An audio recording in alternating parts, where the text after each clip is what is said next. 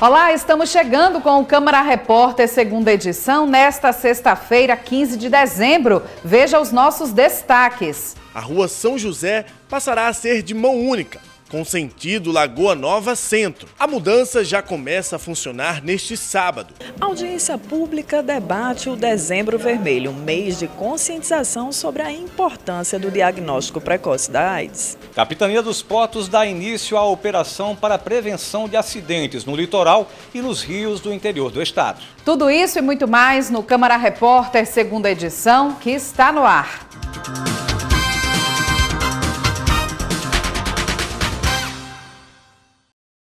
A partir deste sábado, dia 16, o fluxo do trânsito vai mudar na rua São José. Nesta tarde, nossa equipe esteve lá e mostra como será a mudança. A mudança já começa a funcionar neste sábado.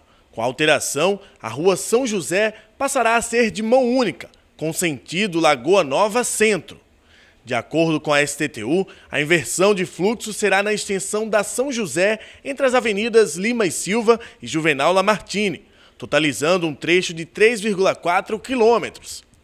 Para quem utiliza a via, a alteração no fluxo ainda divide opiniões. No meu condomínio, por exemplo, o pessoal não gostou, principalmente quem usa, quem, quem usa carro. E a nossa rua tem a particularidade de ser por trás do Bosque das Mangueiras e a gente hoje a gente só tem uma saída, que é pela Jaguarari. A gente não pode pegar ali na Amintas porque é contramão. Então a gente só tem uma saída que é a Jaguarari e é o que a gente utiliza. Só que com é, o sentido único lá na Jaguarari vai dificultar para a gente, para quem sai de carro por lá.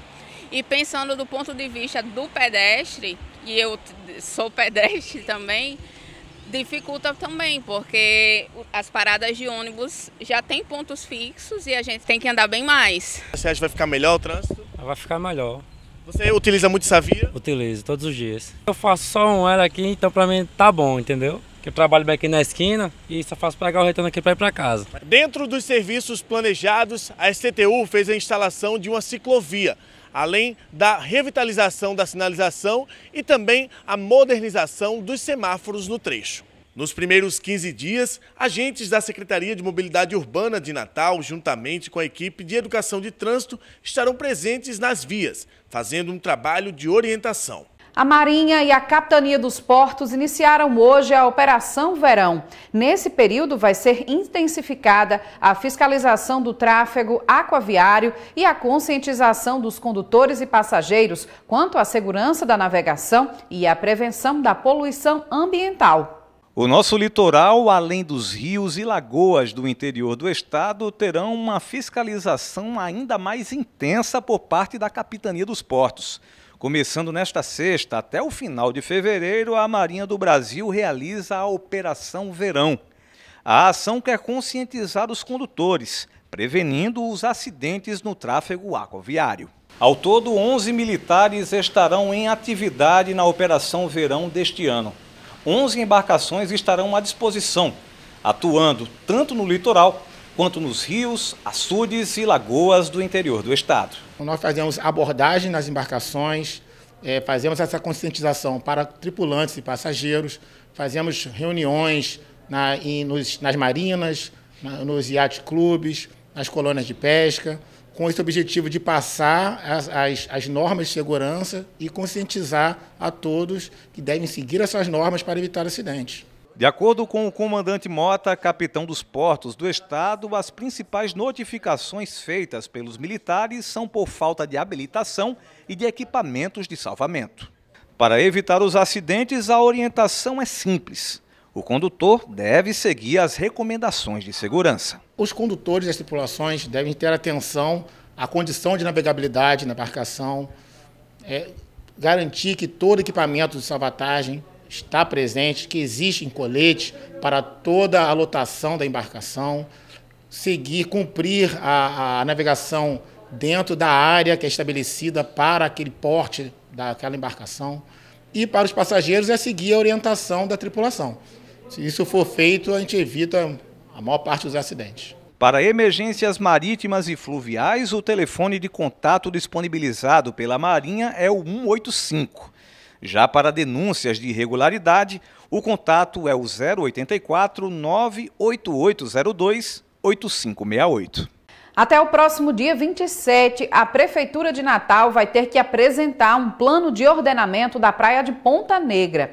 A exigência é uma determinação judicial. Edesiane Moreno. A audiência ocorreu a pedido do Ministério Público, que busca o cumprimento de uma sentença judicial de 2016, reformulada pelo TJRN em 2017, que determinava que o município de Natal garantisse o ordenamento da praia e que, segundo o Ministério, não aconteceu. No dia 12 de janeiro, haverá uma inspeção conjunta na Orla para avaliar a situação do local e o cumprimento das medidas. E a Prefeitura de Natal informou que vai iniciar ainda neste mês a Operação Verão para intensificar a fiscalização ao longo de toda a orla da cidade, para coibir atividades ilegais, como a presença de ambulantes não cadastrados, ordenar os passeios públicos e oferecer mais segurança para os comerciantes e frequentadores das praias. A novidade para este ano fica por conta da implementação do quiosque 6 em Ponta Negra. O local será um espaço de ação integrada dos serviços públicos municipais, com funcionamento diário e escala de plantão.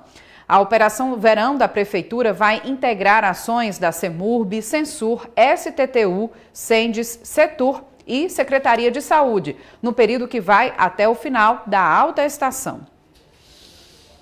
A seguir, a audiência na Câmara debate ações de prevenção e combate à AIDS em Natal. E ainda, confraternização reúne servidores da Câmara em sessão solene natalina. Inúmeros animais são resgatados das ruas diariamente. Eles estão doentes, feridos, sequelados ou foram vítimas de atropelamento. ONGs e abrigos precisam de medicamentos, ração, material de limpeza e recursos para tratamento clínico veterinário. Toda doação é bem-vinda. Em que você pode ajudar? Entre em contato conosco, seja um doador. Uma iniciativa da União Pet Brasil.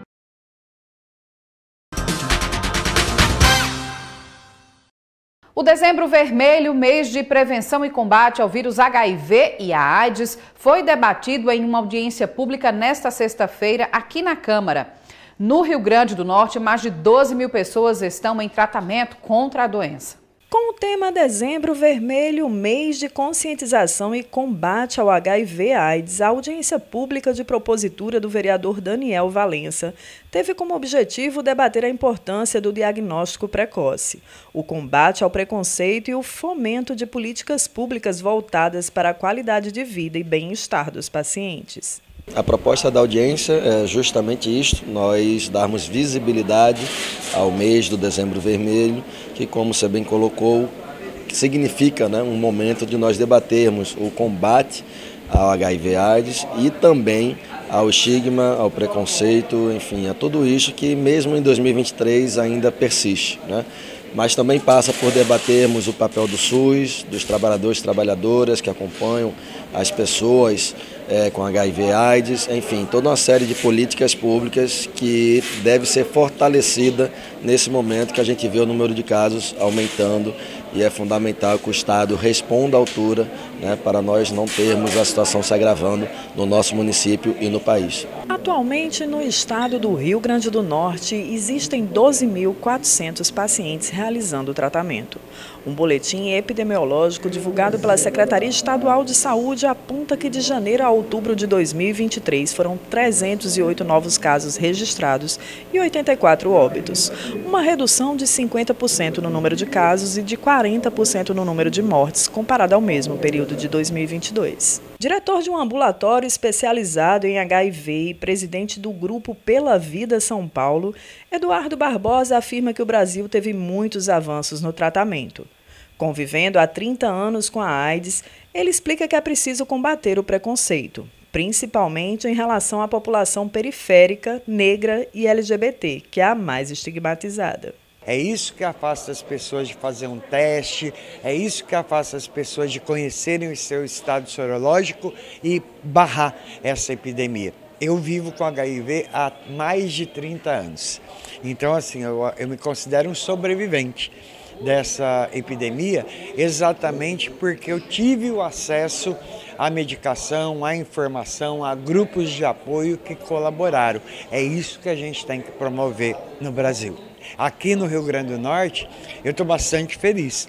É, eu acompanho a política aqui do Rio Grande do Norte há um tempo, mas eu estou feliz com algumas coisas. Por exemplo, a questão do Centro de Cidadania LGBT que tem aqui no município, o ambulatório de travestis e transexuais, mas ainda estou triste. Estou triste com a coordenação de AIDS aqui do município, do estado, é, que ela teve um, um, um ela diminuiu muito as suas ações. A gente precisa atuar nisso. Para o diretor do Laís, Ricardo Valentim, a evolução dos medicamentos nos últimos anos foi fundamental para o tratamento dos pacientes.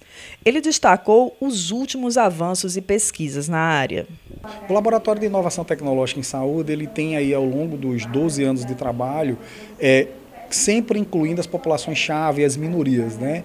E a população LGBTQIAP+, ela faz parte desse grupo de populações-chave que tem uma relação importante com essa questão da disseminação de, de, das ISTs, né? É, principalmente quando a gente fala de homens que fala, fazem sexo com homens, é importante a gente destacar que a disseminação da, do HIV hoje, é, infelizmente, ela tem uma prevalência importante na população homem entre 17 e 21 anos de idade.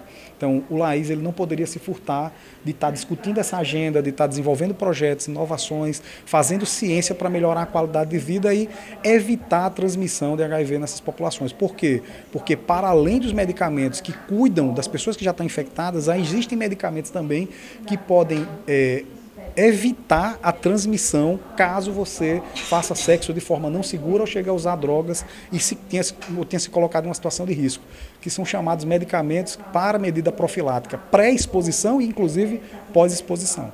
A coordenadora do Núcleo de ISTs AIDS da Secretaria Municipal de Saúde, Tayane Oliveira, detalhou a estrutura e os serviços disponíveis no município para atender os pacientes. Hoje, nossos pacientes são atendidos no SAI Natal, né, que é o Serviço de Atenção Especializada. Hoje temos de seis a sete médicos atendendo, tanto infectologistas, como infectopediatra, como infecto é, que atende a parte de ginecologista, obstetrícia. Então, assim, hoje o nosso site está bem completo de profissionais médicos para atender nossa população. Além dos profissionais de serviço social, nutrição, enfermeiro, técnicos de enfermagem. Então, nosso serviço, apesar da população estar tá, assim enorme, né, enorme que eu falo no sentido de estarmos com bastantes pacientes em atendimento hoje, mas apesar disso, nossos profissionais abraçam essa causa e atendem muito bem nossos pacientes. Antônio Araújo, diretor do Hospital Giseuda Trigueiro, falou da importância da luta para que o paciente grave não precise passar pela UPA, podendo ter acesso direto à estrutura hospitalar. Ele apontou a subnotificação como um grande problema e reforçou a importância de um trabalho educativo. As escolas tem que ser, desde o adolescente até o, o, o adulto jovem, saber o que houve com a AIDS na década de 80 e saber como se deve prevenir hoje sobre a AIDS. Porque hoje eu acho que o risco maior não é de homossexuais, de bissexuais, de, de, de, de travestis, de LGBT, mas sim de heterossexuais. Porque os heterossexuais não sabe que tem um HIV, tem relacionamento heterossexual e diz que não tem medo de pegar o HIV. E esses pacientes, eu acho que futuramente nós vamos abranger muita quantidade de pessoas que estão que tiveram relações sexuais heterossexuais e vão adquirir a doença. Vai inverter o que era do, da década de 80, onde se pensava que somente o, o HIV assestava os pacientes que é, é, é, homossexuais. E eu acho que o futuro, bem próximo, os heterossexuais vão tomar conta desse número de pessoas que era no passado. O ano de atividades da Escola do Legislativo foi encerrado nesta sexta. A gente já mostrou aqui que mais de 500 pessoas participaram dos cursos de capacitação ao longo deste ano. E logo depois teve uma confraternização dos servidores. Uma bonita festa de confraternização foi realizada no plenário da Câmara Municipal de Natal para os servidores e terceirizados do Legislativo. Hoje é um dia de muita emoção aqui na Câmara Municipal de Natal, meu primeiro ano na gestão como presidente e hoje finalizamos um pouco dos trabalhos aqui da casa, fazendo uma excelente confraternização, uma sessão solene que trouxe de fato a entrega de centenas de certificados para servidores da casa que no decorrer do ano fizeram diversos cursos na Escola do Legislativo. Durante o evento foi realizada a cerimônia de encerramento das atividades da Escola do Legislativo Vilma de Faria em 2023 e a entrega de certificados dos cursos promovidos pela instituição. Hoje a gente está encerrando né, com uma cerimônia né, as atividades da escola com a entrega dos certificados dos cursos é, da parceria Câmara com o SENAC. Hoje a gente vai entregar o certificado do curso de oratória, de qualidade no atendimento e o de Libras.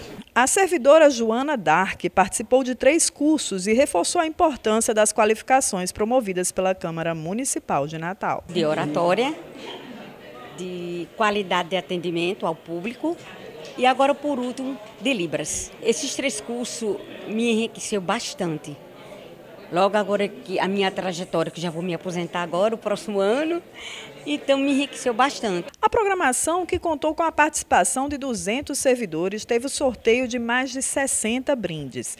Claudete foi sorteada com um liquidificador e ficou muito feliz com o prêmio. Logo no início já fui sorteada, né? Motivo de alegria. Então estou, para mim é motivo de alegria estar aqui por ter recebido dois certificados pelo Senac para concluir minhas horas da faculdade e também, né, o sorteio. Eu fico muito feliz em finalizar com uma confraternização, sorteando vários brindes que possa de fato trazer um pouco daquele carinho de final de ano, aquela confraternização que a gente faz com a nossa família, a gente também faz aqui na Câmara Municipal de Natal, por entender que uma grande família trabalha junto em prol do desenvolvimento, do fortalecimento, do crescimento da nossa cidade. Veja agora as notícias que foram destaques na Câmara ao longo desta semana. Minuto da Câmara.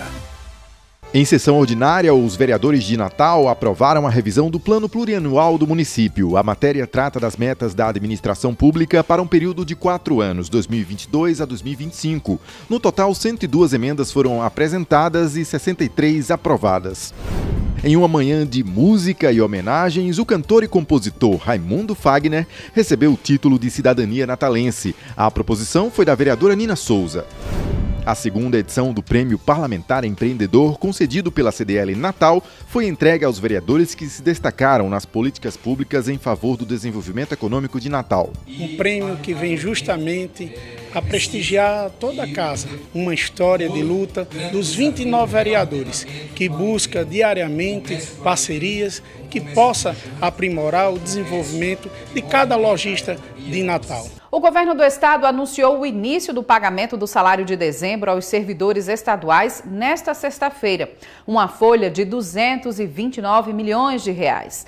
O pagamento foi integral para ativos, inativos e pensionistas que recebem até 4 mil reais e para toda a categoria da segurança pública. Servidores lotados em pastas com recursos próprios e a educação receberão o pagamento integral no próximo dia 30 deste mês. Quem recebe mais de 4 mil reais teve 30% dos vencimentos adiantados nesta sexta. Os outros 70% serão depositados no final do mês.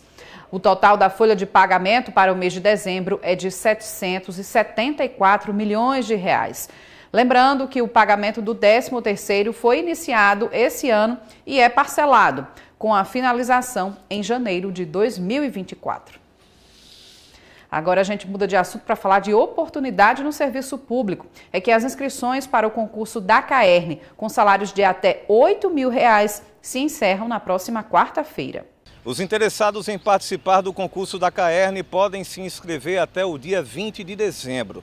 Serão oferecidas 33 vagas, distribuídas em cinco cargos de nível superior e quatro cargos de nível técnico. Os salários oferecidos variam entre R$ 4.198,11 e R$ 8.746,10. As inscrições podem ser feitas no site www.idecam.org.br. A taxa de inscrição é de 120 reais para os cargos de nível superior e 100 reais para os cargos de nível técnico. Confira todas as vagas disponibilizadas.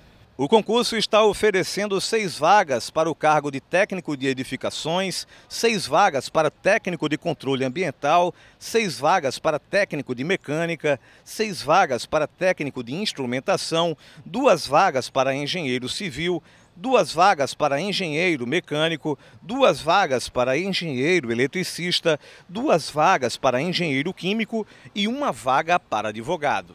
As provas serão aplicadas no dia 25 de fevereiro de 2024. Serão aplicadas nos municípios de Natal, Mossoró e Caicó, em dois turnos. E depois do intervalo, vocês vão ver que os Correios fazem a alegria das crianças de Natal com a entrega dos presentes da campanha do Papai Noel. Nós voltamos já.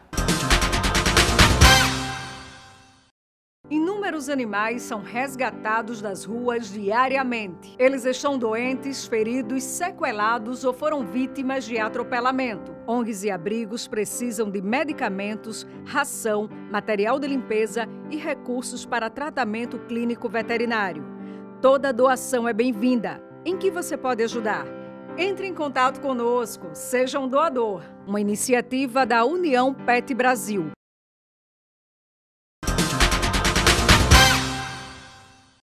Os Correios iniciaram as entregas dos presentes das crianças que enviaram as cartinhas do Papai Noel. Um momento mágico e que leva esperança para essas crianças que vão ter um Natal diferente esse ano. Estamos aqui na rua João 23, no bairro de Mãe Luísa, mais precisamente, como vocês podem observar aqui atrás, no CEMEI Galdina Barbosa, que atende crianças de 4 até 6 anos de idade. E hoje vamos acompanhar a entrega dos presentes do projeto Papai Noel dos Correios. A meninada vai ficar feliz da vida com o Papai Noel chegando, né? O carro dos Correios acabou de chegar e quem vem dirigindo é o próprio Papai Noel que está se caracterizando ainda. Qual que é o teu nome, meu amigo? Moacir Soares, o profissional dos Correios. Nosso coração transborda de, de, de felicidade com esses momentos. Na entrada do CME já temos aqui apostos a árvore de Natal com os pedidos as cartinhas, né, os pedidos da criançada e o Papai Noel que já está todo caracterizado aqui na frente. Papai Noel, a criançada vai gostar da surpresa. E agora estamos preparados de corpo e alma para dialogar, entregar os presentes dessa criançada aqui em Mãe Luísa. E aí, meninada, tudo bem? Deixa o titio fazer uma perguntinha para vocês. Nem baixinho. Vocês acreditam em Papai Noel? Gorrinho igual a gente. Tem uma barba branca. E ele é gordo. E presente. E aí, meninada, vamos chamar quem? E os presentes já estão sendo empilhados e vão ser distribuídos para a criançada. Vamos ver a reação deles.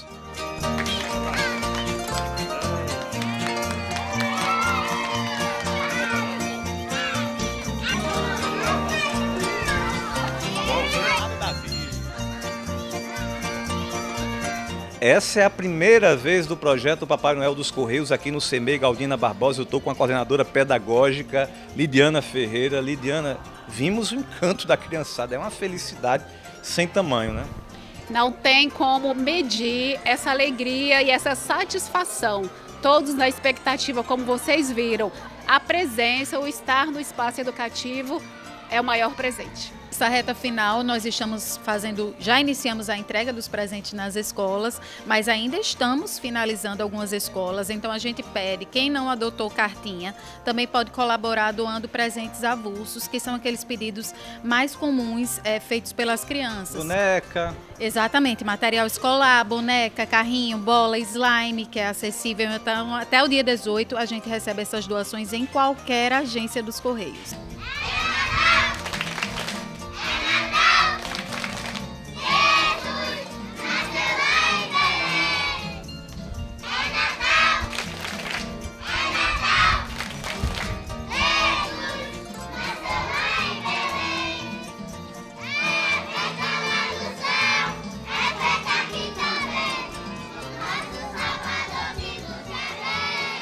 A Organização do Natal da Inclusão informou nesta sexta que, diante das fortes chuvas que caíram pela manhã, há inviabilidade para a realização da festa em local aberto. O evento seria realizado na tarde desta sexta no Bosque das Mangueiras e foi adiado para a próxima quinta-feira, dia 21, durante a tarde. Vai ser no mesmo lugar, o Bosque das Mangueiras. Agora vamos de dica cultural para o fim de semana. Neste sábado tem encerramento do projeto Mais Mulheres da Cultura. Tarsila Costa traz os detalhes. A programação da segunda edição do projeto Mais Mulheres na Cultura, que contou com rodas de conversa, exibição de audiovisual e oficinas gratuitas nas áreas de música, literatura e artes visuais, beneficiando 80 mulheres, será encerrada neste sábado 16 na Pinacoteca Potiguar, com programação gratuita e aberta ao público, com feira criativa, espetáculos de dança, teatro, circo, exposição e apresentações musicais. A iniciativa busca oferecer formações gratuitas na área de cultura para mulheres de Natal, reduzindo assim as desigualdades de gênero no setor cultural. A programação do sábado tem início às 15 horas com feira de economia criativa, solidária e cultural e a exposição Sou definida pelo que não sei. Na sequência, às 15h30, tem a apresentação da peça Candeia, com o grupo Estação de Teatro. Às 16h30, tem o espetáculo de dança Eufêmia, com Rosiane Oliveira. E às 17h20, a apresentação Circense, Mulheres à Vista, com Joriana Pontes. Às 18h30, acontece o cortejo do Batuque de Mulheres do GAMI. Às 19h20, tem DJ Aurora. Às 19h30, show de Simona Talma com participação de Daniela Fernandes e Ângela Castro. Às 20h20, DJ Aurora novamente. Às 20h50, show de Tiquinha Rodrigues com participação especial de Preta Soul e Ana Tomás. Às 21h40, DJ Jennifer, encerrando a programação às 22h10, show de Luiz e os Alquimistas, com participação de Clara, Sara Oliver e Bruna Vini. Graça pouca é bobagem dos males o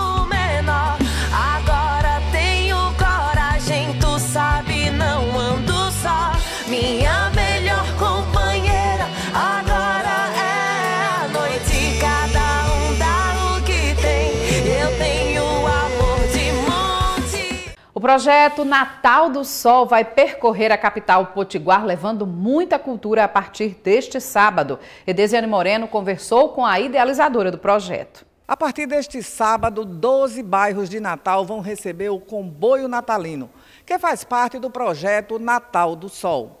Aqui comigo está a Giovana Araújo, atriz que faz parte desse projeto e vai nos explicar exatamente o que vem a ser o projeto Natal do Sol. Giovana, o que é esse projeto Natal do Sol? Então, o Natal do Sol é uma série de ações que vai acontecer esse ano de uma forma itinerante, num caminhão que vai fazer um show de luzes, é, junto com o espetáculo, junto com a esquete, junto com o Papai Noel, que tem um momento de fotos.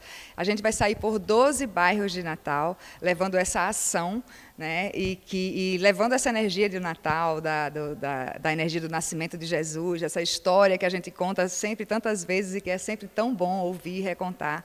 Levando um pouco dessa energia nesse momento né, tão especial que é o Natal aqui na nossa cidade. Como foi que surgiu essa ideia? Porque é, é o primeiro ano que acontece, não é isso? Então, Diana Fontes, ela é idealizadora e diretora desse projeto, e ela que teve essa ideia de levar essa ação de forma itinerante, porque é uma forma da gente aproximar mais um pouco a arte do público em geral, né, das pessoas. A gente tira um pouco a arte daquele lugar né, de apresentação dos teatros e leva para a rua, para que a gente possa é, se aproximar cada vez mais e oportunizar que mais pessoas possam assistir, assistir esse espetáculo. São 12 dias, né, 12 bairros, 12 apresentações apresentações, 12 micro apresentações e três macro apresentações, porque além das esquetes, do momento de foto com Papai Noel e do show de LED de luzes do caminhão, nesses três dias tem também a apresentação do espetáculo Um Presente de Natal, que nesse ano está na sua forma mais reduzida, que a gente está chamando de presentinho ou de lembrancinha de Natal, mas que traz um espetáculo muito bonito, envolvendo 18 artistas, 18 né, atores, atrizes, bailarinos, e, e que está deixando a gente muito feliz de poder estar dessa forma nesse ano, levando até o público, levando a tantos bairros na cidade. Giovana, me diga uma coisa, como é que vão ser essas paradas? É, em que horário vai, vai acontecer? Isso assim vai ser anunciado previamente no bairro escolhido? Como é que vai funcionar? Então, toda a nossa programação está disponível no Instagram, na página do Natal do Sol. Lá a gente explica o dia, o horário, exatamente o local do bairro que, que o caminhão vai parar.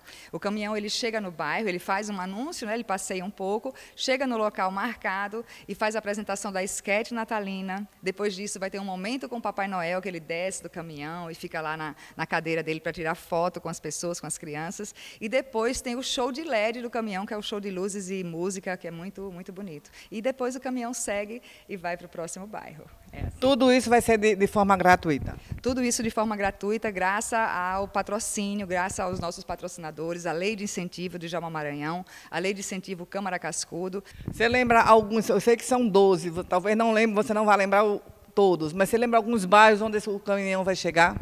Sim, é, as três macro apresentações é vai ser é, na Praça dos Gringos, na terça-feira, dia 19, às 19 horas, no bairro de Ponta Negra.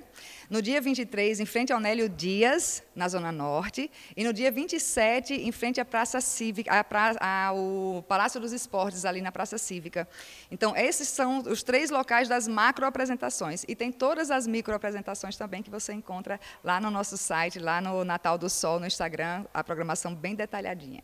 Aí uma programação para toda a família mesmo curtir o final de semana. E esta edição do Câmara Repórter, segunda edição, fica por aqui. A gente volta a se encontrar na próxima segunda-feira. Desejo a todos um excelente fim de semana. Tchau!